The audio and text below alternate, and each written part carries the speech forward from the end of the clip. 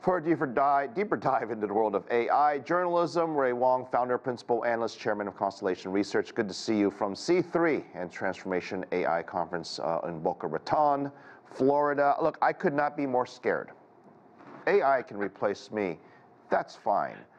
But the stuff that I'm reading about what AI could do to and say to people and do things and the machines they can control, you can't tell me that we're all not a little worried. And even Elon Musk came out and said this might be one of the most dangerous inflection points in history you know, the challenge here is really about authenticity. We're going to need more people to stop disinformation, and AI is going to be used to combat AI disinformation. You can see that already. There's some interesting scams going on right now where callers will send you up or set you up on a Zoom call, and they'll ask you a bunch of questions, and they'll use like, you know, there's a problem with your account. We need to talk to you, uh, and people unsuspectingly will actually put enough information out there so someone can make another video to blackmail them with things they did not say. So that is already happening out there in the world of cybersecurity and things to watch out. But in terms of journalism, what's important is that it's going to accelerate story development. Think about all the time that it takes to do research on an issue or on a story. At least the information is aggregated in one place but we're still going to need journalists to figure out what's real, to get multiple points of view, to do fact checking, and to make sure that there is no disinformation. But, so, so I don't but, think but it's going to go away. Hold on, how, oh. how, how is that different than than me or Mike or any of us who work in the newsroom? going to Google and looking up something and go, okay, I've, I've fact checked it and that this is the person's title and this is what they believe in, and then and then talking about it. How does AI take that one step further?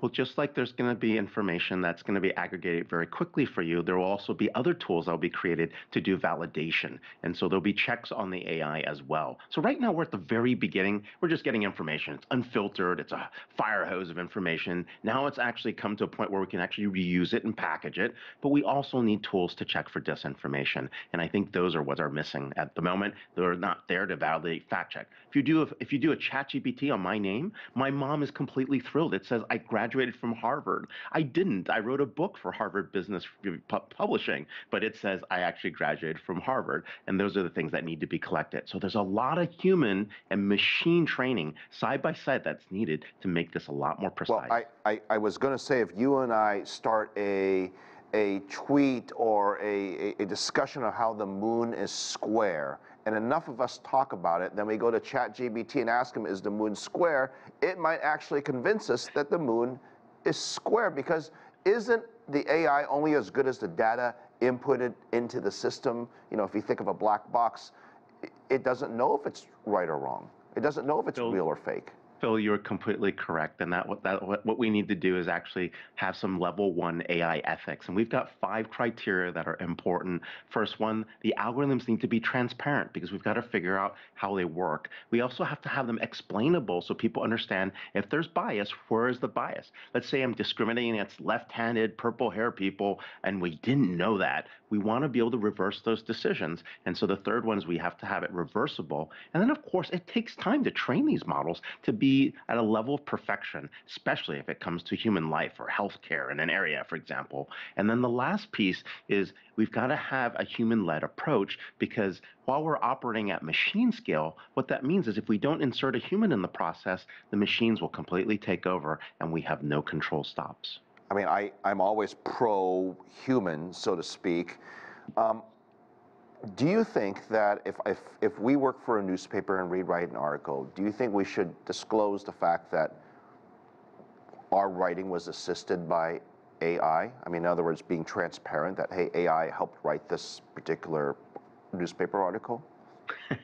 you might want to do that, right? If there's any kind of legal liability, um, you might be able to put it on them. Uh, but I think some people are starting to do that. This post was written by a human, or this article was contributed to with ChatGPT. We're starting to see those kind of things in place. I don't know if it's going to come to the point like FTC disclosures or any kind of similar for FCC requirements. Uh, but I think it is important to understand that was there a human fact check there? Was there an AI fact check? I think people are going to want to know how to add that to the journalism process. Well, I mean, let, us just say there's a paywall and, and people are paying us to write these articles. I mean, there are two articles. One's written by a human and one's written by ChatGPT, and you you can dial it down to which one you can actually monetize because I, for one, will pay for the one that humans write, but I do not want to pay for the one that a computer writes. I mean, I mean, there has to be something there.